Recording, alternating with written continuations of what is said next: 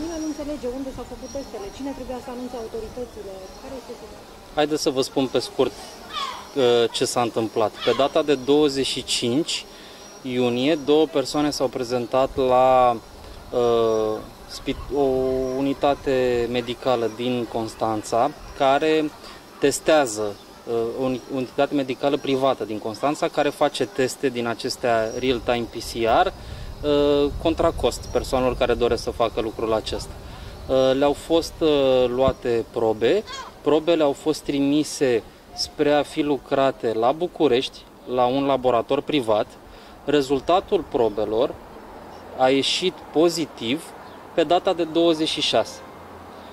Persoanele până acum din ce am discutat cu reprezentanții DSP, înțeleg că au intrat în posesia rezultatelor uh, testelor tot pe data de 26 și au plecat spre județul lor de reședință, și anume Maramureș.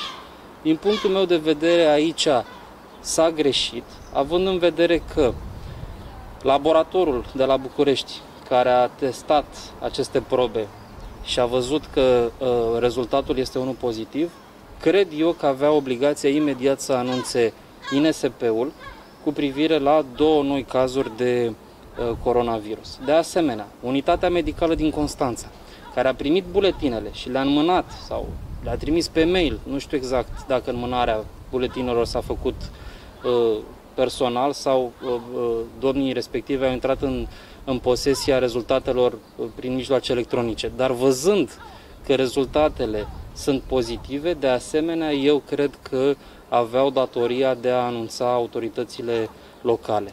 Uh, ca în toate cazurile, de fiecare dată când s-a întâmplat lucrul acesta, procedura a fost una simplă. Se sună la 112 și se uh, raportează orice caz nou de coronavirus.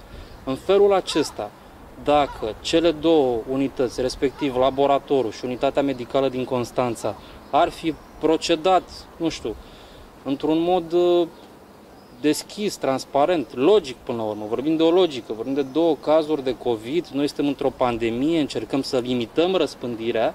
Dacă aceste două unități ar fi apelat, ar fi sunat și ar fi spus uh, aceste lucruri autorităților, cu siguranță că ancheta epidemiologică pe care trebuie să o facă DSP-ul în momentul de față ar fi fost una mult mai ușoară. Pentru că vă dați seama, în trei zile, pe 29 uh, înțeleg că a avut loc accidentul, în trei zile cu câte persoane acești doi uh, domni au intrat în contact. Lucru care, vă spun, face ancheta epidemiologică și mai greoaie. Nu știm încă în Constanța de cât timp se aflau, nu știm încă în Constanța unde locuiau.